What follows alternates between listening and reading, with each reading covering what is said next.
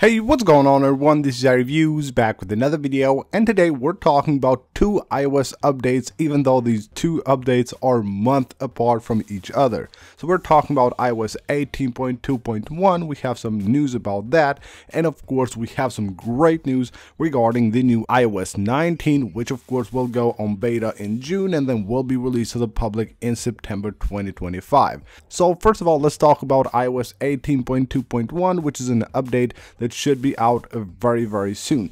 Now currently that has been spotted by mac rumors. That is an update that is confirmed that is coming out. And it should come out because ios 18.2 actually has quite a lot of bugs. And i have noticed some here on my device especially the screen not responding as it should. And sometimes the apps basically having quite a hard time loading especially here the icons on the settings app. They load very hard sometimes and other problems that other users have reported. So there will be an ios 18.2.1 that is confirmed. But we were expecting actually that to be released very very soon but it looks like we will have to wait for a few more days. So here we have the feedback app and if you have this app you go here you will have your inbox where you get basically news from apple. Now this is the winter break for apple and according to them they will be back in the office on January the 2nd. That means that we won't get iOS 18.2.1 this year. That will happen in January 2025. And we will have to see which date that will be. So if they will be on the 2nd, back in the office that would be a thursday. Most likely they won't release the update on day one because if they had it already ready for release they would have released it before.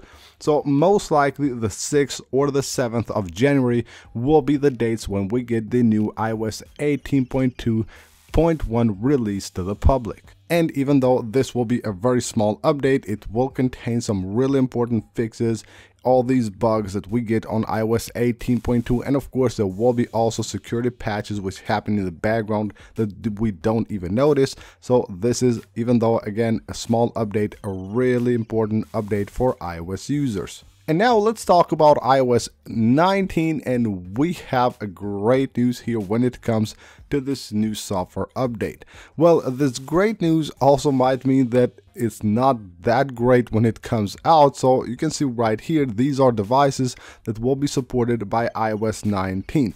And as you can see by the list here, Every device that is currently supported on iOS 18 will also be supported on iOS 19. Now that's great news of course, more people will be able to update their device to the newest software, but that means that most likely iOS 19 won't have any like significant changes or any like big new features.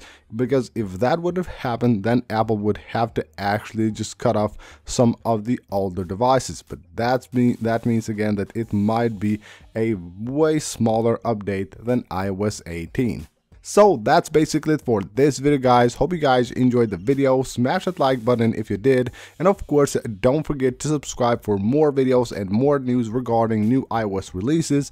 And I will see you on the next one.